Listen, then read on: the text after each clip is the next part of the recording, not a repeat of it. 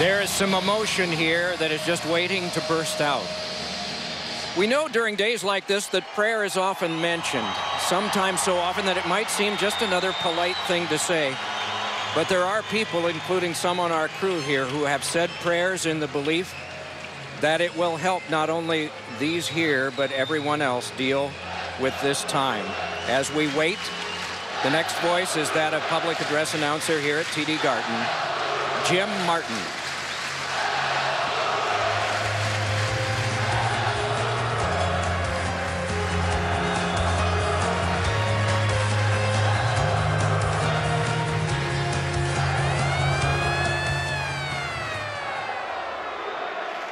Ladies and gentlemen, please join us in a moment of silence to pay tribute to all of those affected by Monday's tragic events at the Boston Marathon.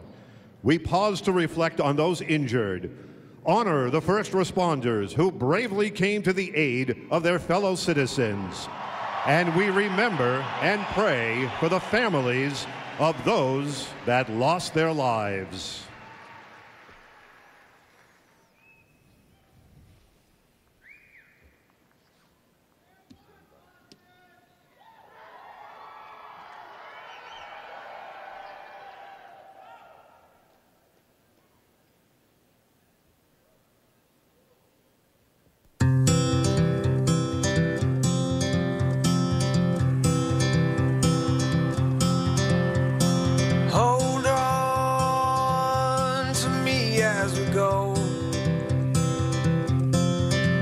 As we roll down this unfamiliar road.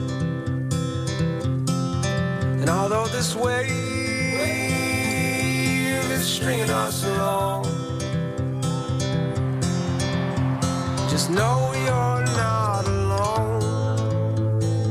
Cause I'm gonna make this place your home.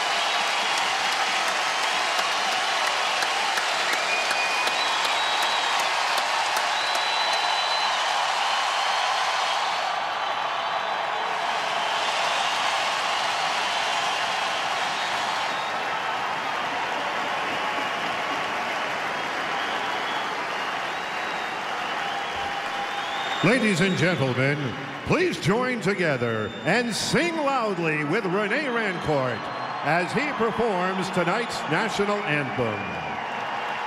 Representing all of Boston's first responders, please welcome the Boston Fire Department Honor Guard to present tonight's colors.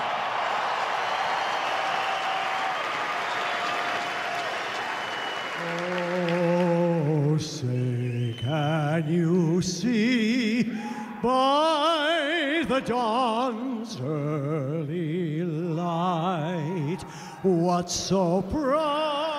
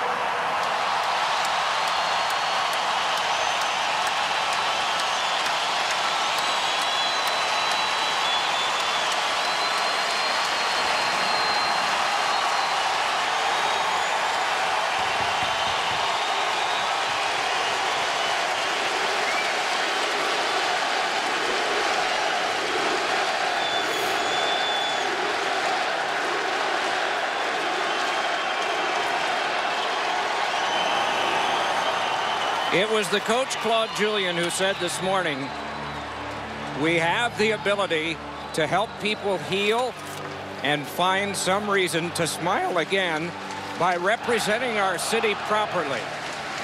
We have an opportunity here to make our city proud. We're all in for it, and hopefully we can do that for this city right now.